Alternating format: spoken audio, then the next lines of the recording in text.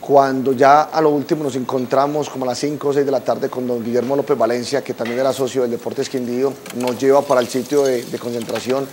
si no estoy mal era Confenalco, allá no era edificio, sino que eran eh, casitas de uno o dos pisos donde no había peligro, diría yo, o el mínimo riesgo pues de que pudiera eh, pasar otra réplica.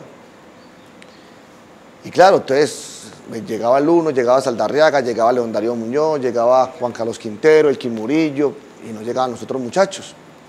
Y ya se empezó a pensar lo peor. Y lo peor era que hubieran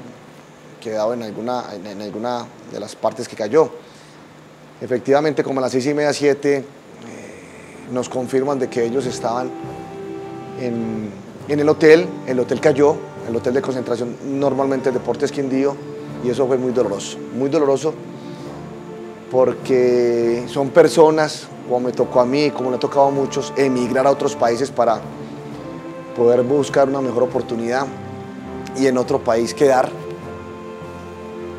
Y no aprendemos, porque hoy en día seguimos preocupándonos por tantas cosas que no valen la pena, seguimos haciéndole el daño a las personas que no valen la pena, seguimos buscando o queriendo buscar las cosas a como de lugar